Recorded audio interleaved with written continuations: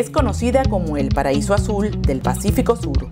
Su belleza natural impresiona a quienes la visitan y es que Salinas, considerada el balneario más importante del país, es uno de los principales centros económicos, financieros, turísticos y comerciales de la provincia costera de Santa Elena. Proyecta actualmente una imagen moderna, mientras que la industria pesquera y el comercio han ido en crecimiento. Hoy conoceremos del alcalde Daniel Cisneros qué proyectos continúan y qué innovaciones en pro del cantón y su gente trae consigo para este nuevo periodo de gobierno. Con honestidad y trabajo hemos fortalecido la administración. Por darle un ejemplo, Santa Rosa, en, lo que se va de la administración, terminaremos con el 90% de Santa Rosa. En José Luis Tamayo llegaremos a un 80% de asfaltado. Aquí en la cabecera cantonal llegaremos a un 90% de asfaltado. Salinas se ha convertido en promotor del deporte, innovando en la construcción de un gran complejo que hoy es modelo de gestión para los municipios de la provincia. Nuestros vecinos, La Libertad y Santa Elena, ya están pensando eh, en este año hacer proyectos similares. Le podremos ayudar a, cualquier municipio a que haga, gestione y eh, invierta en estos proyectos. ¿no?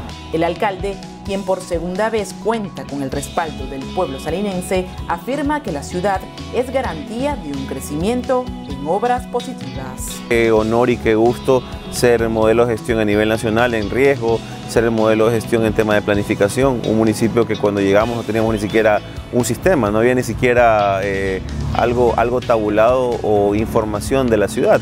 Ahora es una realidad diferente y obviamente hay procesos que todavía hay que seguir, hay que terminar y hay cosas que también se dejan para las siguientes generaciones y las siguientes alcaldías. Con el evidente cambio que muestra Salinas en infraestructura a nivel comercial, político y social, dejará su actual administrador un precedente de progreso y desarrollo para futuras generaciones.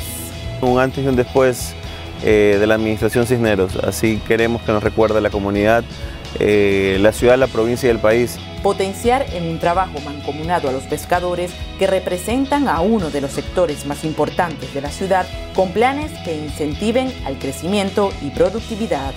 Tenemos a un departamento de pesca que también está coordinando eh, con los pescadores eh, cursos, proyectos.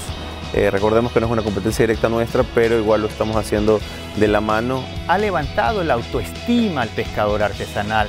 Puerto de Santa Rosa es uno de los puertos más importantes del país que genera economía para el Estado ecuatoriano y para la población en sí.